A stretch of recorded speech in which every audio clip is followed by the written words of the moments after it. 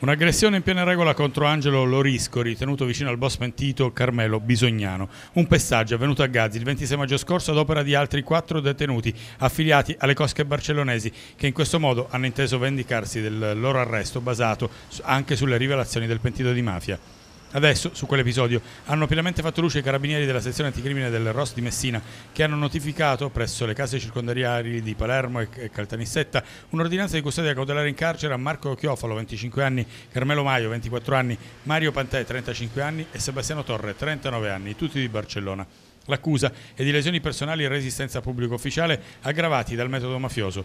Il provvedimento, emesso dal GIP del Tribunale di Messina su richiesta dei sostituti procuratori della DDA Vito Di Giorgio ed Angelo Cavallo, ricostruisce le responsabilità degli arrestati in quell'aggressione avvenuta a maggio all'interno del carcere di Gazzi ai danni di Lorisco, che insieme al collaboratore di giustizia Carmelo Bisignano, Stefano Rottino e Tinda Romerino era stato arrestato il giorno precedente in esecuzione di una misura cautelare del GIP del Tribunale di Messina.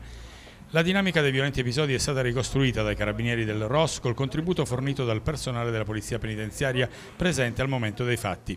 Si è accertato che nel primo pomeriggio, al rientro del cosiddetto passeggio, i detenuti del primo piano si erano insolitamente posizionati ognuno davanti alla propria cella. Pochi istanti dopo, Chiofalo, Maio, Pantè e Torre, dopo aver bloccato con la forza l'agente di polizia penitenziaria addetto al piano, che ha riportato a sua volta lesioni, hanno trascinato Lorisco fuori dalla cella picchiandolo brutalmente.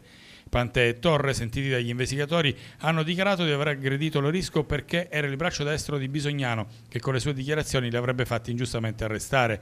Maio invece ha ricondotto la propria partecipazione al raid punitivo a motivi di vendetta nei confronti di Bisognano, ritenuto uno degli autori della morte del padre.